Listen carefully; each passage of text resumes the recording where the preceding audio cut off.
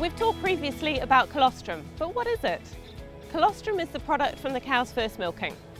This milk is the gold standard and what we need to ensure every calf gets as its first feed. Good quality colostrum is packed with immunoglobulins. These are molecules that act as a critical part of the calf's immune response and help to fight disease. Because calves do not have immunity passed on from their mothers, they require good quality colostrum, ideally within the first eight hours, to supply the immunoglobulins needed to start building immunity. Colostrum also has great nutritional benefits for each calf too. There's a higher level of minerals, as well as increased quantities of vitamins A, D and E, and as much as five times the amount of selenium, as can be seen from this graph.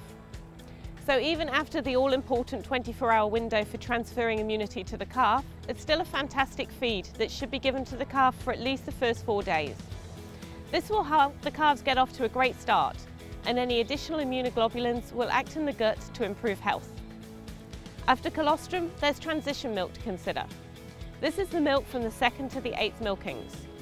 In the early milkings, there's still superior nutritional content when compared to standard milk, which makes it an excellent feed for calves after their allocation of colostrum. This should be given to the calves for as long as it is available. When moving on to standard milk feeding, it may be worthwhile considering a nutritional supplement so that calves continue to receive the full complement of vitamins and minerals that they need.